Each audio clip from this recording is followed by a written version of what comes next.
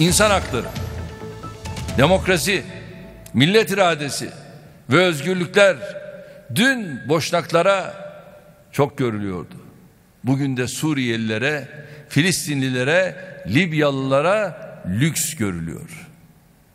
Mazlumlar ve zalimler değişse de zulmü tribünden seyredenler değişmedi, değişmiyor. Hollandalıların o yamyamlarıyla bizim insanlarımıza nasıl saldırdıklarını hatta hatta bayan bakanımıza varıncaya kadar nasıl saldırdıklarını gördük. Ve benim Trabzonlu Hollanda'da çalışan işçimi köpeklere saldırtmak suretiyle nasıl üzerine çullandırdıklarını gördük. Bakın şimdi yine aynı şey oldu.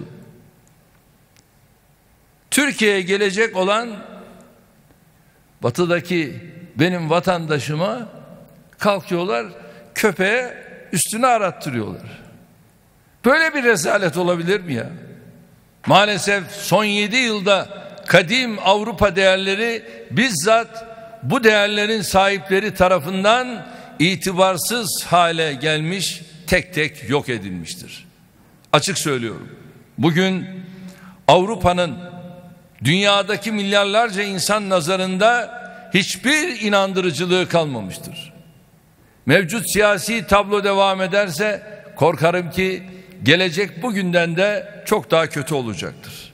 Türkiye'siz bir Avrupa'nın varacağı yer yalnızlıktır, çaresizliktir, iç çekişmelerdir. Türkiye Avrupa'ya muhtaç değildir.